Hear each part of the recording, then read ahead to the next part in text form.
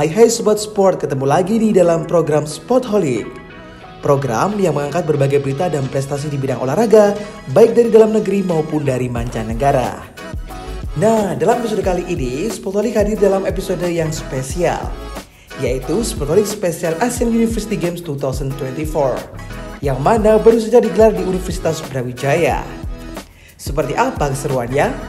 Yuk kita simak bersama kalau di episode sebelumnya kita sudah membahas mengenai cabang olahraga taekwondo. Kali ini Miss World mau bahas salah satu cabang olahraga yang juga ikut berkompetisi di Asian University Games 2024. Cabang olahraga yang Miss World mau bahas kali ini adalah sepak takraw. Olahraga ini mungkin orang banyak belum tahu atau tidak familiar. Namun sepak takraw sendiri merupakan permainan tradisional yang sudah dikenal sejak ribuan tahun lalu. Sepak takraw sendiri adalah jenis olahraga campuran antara sepak bola, bola voli yang dimainkan di lapangan ganda bulu tangkis dan pemain tidak diperbolehkan menyentuh bola dengan tangan. Bola yang digunakan pun juga terbuat dari rotan dengan para pemainnya yang berdiri membentuk lingkaran. Nah, kali ini Minspo berkesempatan untuk berbincang-bincang dengan salah satu atau para delegasi sepak takraw dari negara yang berpartisipasi. Penasaran seperti apa obrolan kita dengan para atlet muda dari negara tetangga? Stay tune terus di Sport Holic. Welcome back to our program Sport Holics. On today's episode, we still have to interview uh, special delegates from Asian University Games 2024. As we know that uh, in this year, Indonesia has become the host again after 2014 and right now, uh, besides me, there is Aung Aung Uh, he is the gold medalist from double event sepak takraw from Asian University Games 2024. Hello. Hello. Okay, and uh, you will help to translate our uh, conversation. Okay. For the first question, is it your very first time to go to Indonesia, and how is your opinion about Indonesia? Indonesia là bên màu trong. Yes, yes, yes. Your blue tin là Indonesia. ရှား အဆင်ပြေတယ်ပေါ့ကောင်းပါ Yeah it's a very good country so green and Okay. good weather Yes. Then, what is your impression about impression OEG အာ in မြင်မြင် Indonesia? uh, okay AUG ကိုဘယ်လိုထင်လဲပေါ့အင်ဒိုနီးရှားမှာလုပ်တဲ့ อืม AUG ကောင်းပါလေပေါ့အဖက်အကုန်ကောင်းတယ်ပေါ့ Yeah everything is good and well managed Okay. Then, of course, is it not easy to become the delegates from your country Yeah. when he knows that he become the delegates for uh, his country? Uh, how do you feel about it? အဲပေါ့ဒီကိုစားပြုဖြစ်ဖို့အတွက်ကိုမပယ်ဘူးပေါ့လေတကယ်ဖြစ်သွားတဲ့အချိန်မှာဘယ်လိုခံစားရလဲကိုယ်နိုင်ငံကိုစားပြု อืมကောင်းတယ်ဝမ်းတာတာပေါ့ပြောတာပေါ့ဒါပဲပြောလိုက်တာ Uh, it's very thrilled to be a delegate for our country. It's very hard for him. Yeah, I never Yeah. did that. Then, how long for the preparation and what he do? ဘယ်လောက်ကြာကြီးလုပ်ခဲ့ရလဲ in China, like two men. Oh, it's a uh, red shower and two men With this, two men. Oh, two uh, and then uh, what he do in two months? Uh, by dating it. Physically, and taking it. What is right by Uh, just uh, training, uh, physical and technical training in our country. Wow. Yeah. Okay. Then, uh, do you have an opinion about the scariest opponent or competitor in this AUG? ကြောက်စရာအကောင်းဆုံးကိုယ့်ရဲ့ပြိုင်ဘက်ကဘယ်လိုလုပ်ထင်လဲ อืม Thai Thai and Indo ပေါ့ Thailand ။ Thailand and Indo. Oh, wow. Okay. Yeah. Then, uh, what is your target or ambition for this AUG? ရည်မှန်းချက် အဲဒီမှာဒီမှာတော့ရွှေမှန်းလာတယ်ပေါ့ဒါပေမဲ့ရွှေရလို့ပြောတယ်ပေါ့ဒါက I see with the video Good. to get uh, about two or three gold medals. I love uh, your positive vibes. Yeah. Then how about the support from your country? Oh, kan nanya. Yeah, everything. Okay. Everything. Everything. Uh, financial and everything. Support. Okay. Really give us full support yeah, for this competition. I see. Okay, this is the last question. Uh, what is your hopes for the next AUG? နောက် AUG now AUG မှာလည်းဆက်ကြိုးစားအောင်ပါပေါ့လေ။ Uh they he want to compete in another next AUG and win another gold medal. Okay, thank you so much for having your time here. Hope that you have a really nice time in Indonesia. Try a lot of Indonesian food because we have a lot of delicious food too. Okay, thank you so much. Yes, okay, and thank you so much. well, viewers, we still have another conversation with another delegates. Bye bye. Thank you. Bye bye.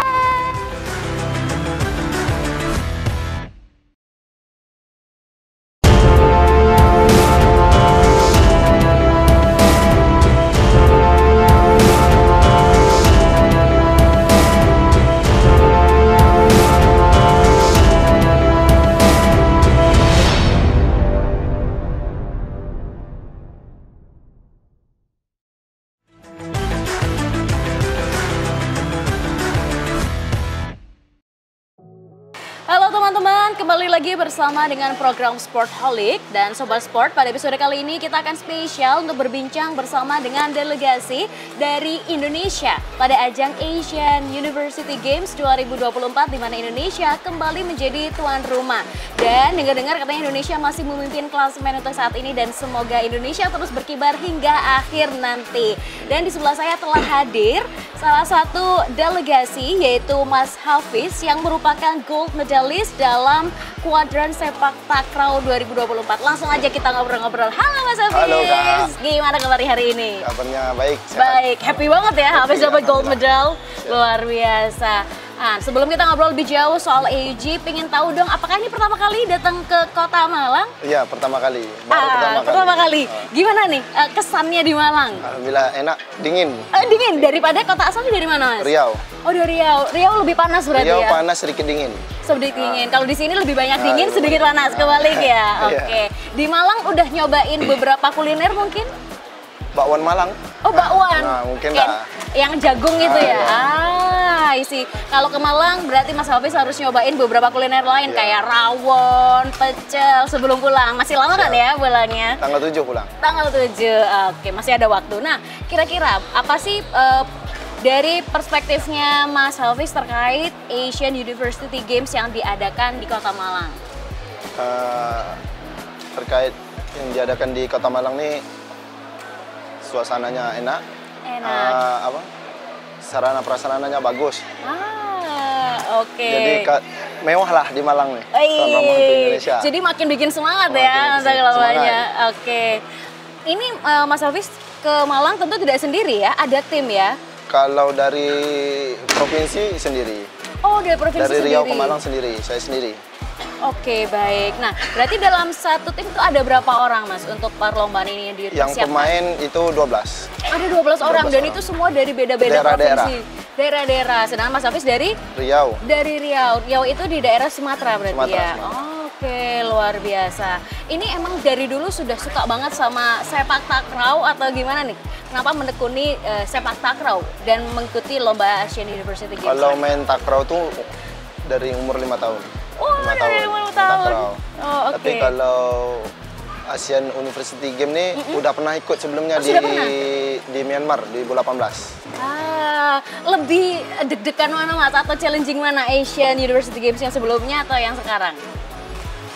Ya ada sedikit lah di tuan rumah lah. Karena targetnya Beban ya. Ya, tuan rumah kan. Oke. Tapi alhamdulillah dapat gol. Gold medal, mantap. Dan kalau kita lihat pemberitaan di beberapa media kan saat ini Indonesia sedang memimpin klasemen. Gimana mas? Perasaannya sebagai bagian dari atlet yang juga menyumbangkan medali? Ya sangat bersyukur lah kak. Karena bahagia gitu kan. Iya. Apalagi di cabang kami ini menyumbangkan medali emas. Oh Nah, betul. perdana i- di nomor kuadran. I Cuman di nomor see. berikutnya tadi belum rezeki lah. Dapat perak tadi. Nah ini mungkin ada beberapa pemirsa yang juga belum begitu paham tentang sepak takraw. Ini di balik layar kita sempat ngobrol ya. Iya. Nah mungkin bisa dibantu jelaskan sepak takraw itu lombanya seperti apa. Kemudian ada beberapa kategori-kategori seperti apa sih dalam sepak takraw ini? Kalau dalam sepak takraw tuh di pertandingan di AUG sekarang tuh empat nomor. Empat nomor. empat nomor. Ada namanya tim regu. Oke. Tetap tiga lawan tiga di dalam lapangan. Tapi Oh. regu satu, regu dua, regu tiga. Ada Oke. namanya regu.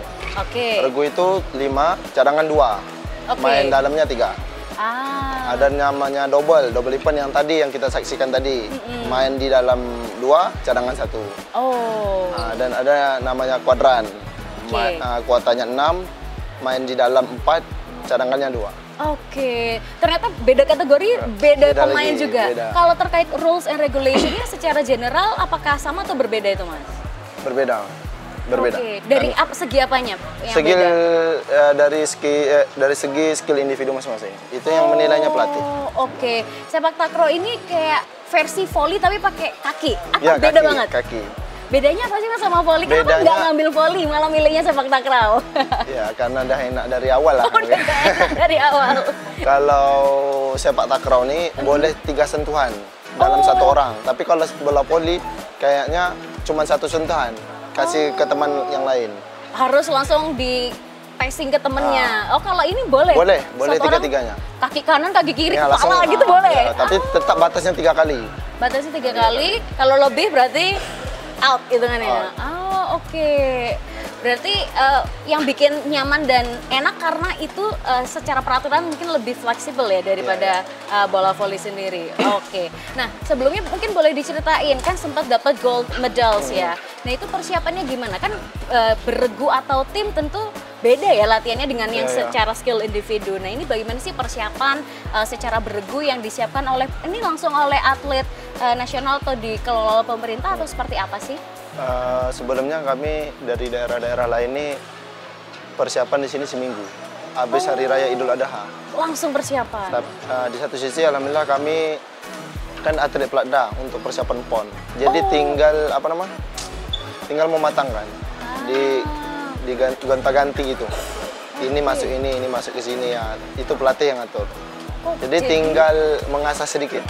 Jadi bukan mulai dari nol Bukan, ya bukan. sebenarnya, tapi teman-teman ini adalah atlet dari daerah masing-masing yang sudah berlatih mungkin udah lama ya Persiapan dari untuk bertahun-tahun pon. Aceh nanti. Oh kapan pon Aceh? Bulan 9. Bulan 9 eh, September berarti Iya. ya. Uh, berarti berturut-turut tiap tiap bulan selalu ini ya. Berarti teman-teman ini hitungannya sudah menjadi atlet profesional yang selalu dikirim oleh pemerintah ke berbagai perlombaan. Oke, luar biasa.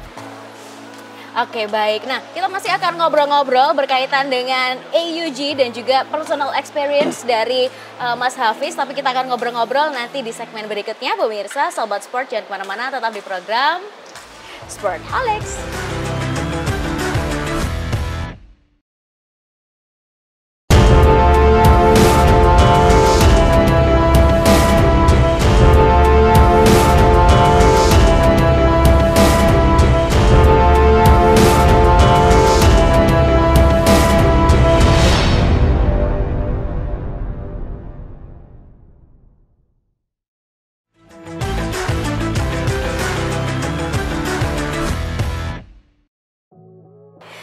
Halo Sobat Sport, Eh, kembali lagi dalam program Sportholic. Kita akan ngobrol-ngobrol kalau biasanya dengan para delegasi. Sekarang kita akan ngobrol dengan LO-nya. Gimana sih experience-nya akhirnya bisa bergabung menjadi LO di Asian University Games.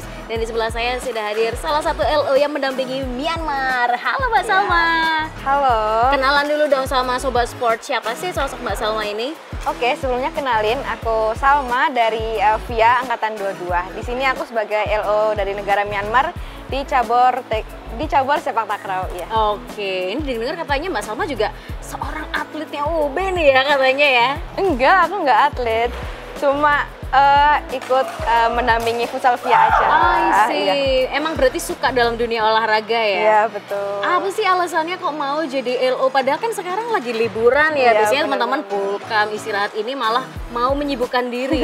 Kenapa tuh Mbak? Sebenarnya jadi LO ini kesempatan yang sangat langka kan. Ah. Asian University Games yang tahun lalu masih di Thailand. Tahun Oke. ini baru ya ada di Indonesia. Apalagi event yang beberapa tahun sekali kan kayak nggak mungkin buat dilewatkan gitu loh kak. Apalagi kita uh, ketemu sama atlet-atlet dari luar negeri kayak Ah. ya teman-teman yang tambah teman banyak kan meskipun agak kendala pasti ada kendalanya. Terutama bahasa ya. Iya, benar sekali. I see, oke. Dan untuk menjadi LO ini apakah ada seleksi khusus atau bagaimana perjalanannya? Oh, kalau jadi LO sendiri ini eh, aku diminta tolongi sama koordinator tadi, Mas Daniel tadi untuk Oh. untuk eh, diminta untuk mendampingi atau membantu dia sebagai eh, LO di AUG ini. Oke, kemudian apakah bisa milih nih Mas, aku maunya jadi LO negara ini gitu atau di Ah. random gitu? Random banget ya. jadi sebelum di awal aku pengen Indo nih, kalau enggak Malay kan yang masih pakai bisa aku mengerti nih bahasanya. Hmm. Tapi ternyata pas di plotting, wah Myanmar. ya udahlah nyiapin diri aja kan. Ya udah Oke. gitu sih. Jadinya pakai bahasa apa Mbak nih selama mendampingi Myanmar? Oh, kalau aku pakai bahasa Inggris ya. Untung dari mereka tuh ada satu dua orang yang bisa bahasa Inggris. Jadi aku bisa komunikasi lewat mereka dan juga untungnya mereka menggunakan aplikasi yang biasa kita pakai ya. Ada yang pakai WhatsApp. Jadi kayak mudah lebih mudah untuk komunikasi aja. Soalnya Ah, iya, soalnya banyak atlet juga yang nggak eh, ada media komunikasi kayak WhatsApp gitu. Iya, ada yang kendala di situ juga. I see. Nah, sebenarnya tugas LO dalam Asian University Games tuh apa aja sih Mbak? Oh, Kalau sebenar- didetailkan Oke, gitu ya. sebenarnya LO tuh dari pertama mereka datang tuh kita mendampingi dan jangan sampai mereka tuh kebingungan di sini. Oh, jadi pertama datang mereka datang di UM untuk eh, akreditasi. Jadi eh, kita tuh udah mulai kerja di sana untuk mendampingi mereka untuk akreditasi kayak Oke. untuk eh, istrinya kayak registrasi lagi apa yang mereka daftarkan pemainnya apa aja, pemain siapa aja gitu sih. Terus Oke. habis itu kita eh, ngebantu untuk check in di hotel seperti itu untuk perta- oh, untuk malam oh, untuk hari pertamanya ya mereka check di hotel dan untuk hari-hari setelahnya kita menjemput di, di pagi hari terus nanti eh, untuk kepulangan kita juga menjemput eh, mengantarkan mereka pulang ke hotel kayak gitu. Oke, tapi kalau untuk dailynya sampai ngurusin soal ini nggak kayak makannya Iya. atau mungkin pakaian apa segala macam itu No, gimana? lebih ke makannya aja sih. Jadi kita konfirmasi ke hotel, mereka mau makan uh, breakfast jam berapa, mau lunch di hotel atau di sini. Kalau di sini kita konfirmasi pengantaran ke mana dan juga jam berapa. Terus uh, kalau uh, untuk dinner pasti mereka minta di hotel sih, soalnya udah Capek, kecapean ya. Iya, ya, pasti mereka oke. minta di hotel untuk dinner ya. Berarti eh, Mbak Salma ini aktif mendampingi mulai tanggal berapa sampai tanggal berapa nih Mbak? Uh, mereka itu datang tanggal 30 kalau nggak salah. Iya. Uh. Iya, mulai dari tanggal 30. Terus tanggal satunya technical meeting, tanggal 2-nya udah mulai match ya, kayak gitu. Oke, dari ini sampai nanti closing ceremony tetap mendampingin teman-teman ya? Iya, sampai tanggal 7 ya insya Allah. Iya. Wah, luar biasa. Boleh dong diceritain suka dukanya Oke. apa sih jadi lo ini? Eh, kalau lebih ke dukanya dulu Oh, sih? boleh, boleh. Yang sedih-sedih dulu ya. Oke, kalau dukanya jadi jadi LO tuh sebenarnya eh, nggak terlalu duka amat sih. Paling cuma eh, waktu kita bener kan angkatan dua-dua kan waktunya KKN kan. Oh. Nah, jadi aku tuh eh, nyempatin diri untuk izin KKN sebentar eh, beberapa eh, satu minggu ya berarti untuk eh, mengikuti ini tugas di AUG ini. Terus luar biasa. jadi eh, nanti habis ini aku baru ikut teman-teman KKN ke desa. Terus Hmm. dukanya lagi tuh eh, kalau ada kekurang puasan dari Ladies and Myanmar for kita the agak, upcoming match, susah gitu. Regu event, Kalau ceritanya mungkin lucu, memorable banget atau ada cerita tuh kayak mungkin biasanya tuh paspornya ketelisut ya kan? gimana nggak tuh?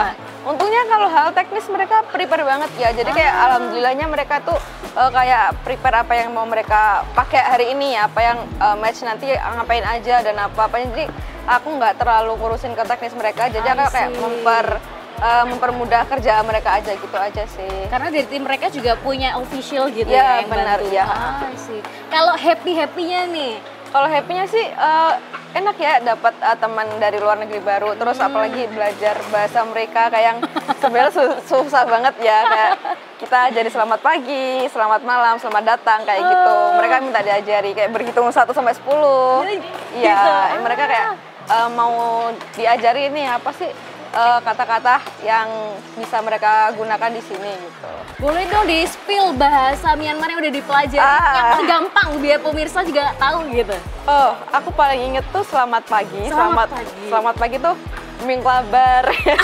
gimana gimana? Ming Ming labar. Ming labar. Ya, oh, selamat ya, pagi. ya. Terus apa ada lagi?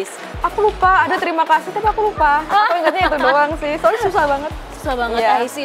Karena bahasa asing yang mungkin kita jarang dengar gitu Iya, ya. iya. Oke, I see seru banget ya dapat pengalaman baru uh, walaupun libur akhirnya Iya, dapat kesempatan ketemu banyak teman-teman dari negara lain. Oke, nah ini mungkin kalau next ada teman-teman mahasiswa yang kepingin juga nih jadi LO entah di acara AUG atau acara yang lain kasih dong tips and triknya kira-kira gimana biar bisa menjadi bagian dari uh, perhelatan yang besar milik pemerintah. Oke, sebenarnya kalau mau ikut AUG ini ya eh, lebih ke persiapin diri aja sih kayak eh, siapin diri untuk eh, bisa bahasa Inggris tapi maupun kalian nggak nggak usah takut kalau kalian emang belum lancar banget. Jadi eh, bisa di sambil jalan kok mereka juga bahasa Inggrisnya nggak sebagus atau selancar itu. Jadi kayak kita sama-sama belajar untuk itu untuk komunikasi juga kayak gitu dan pasti banyak benefit-benefit yang uh, bakal didapat uh, di masa yang akan datang sih kalau menurut aku kayak gitu aja Oke, terima kasih banyak Mbak Salma udah Ya, mau sharing. sama-sama. Semoga sehat selalu mendampingi teman-teman delegasi. ya. Oke, teman-teman semoga terinspirasi ya dari cerita Kak Salma. Kita akan ngobrol-ngobrol lagi di segmen berikutnya. Bye bye. Say bye. Thank you.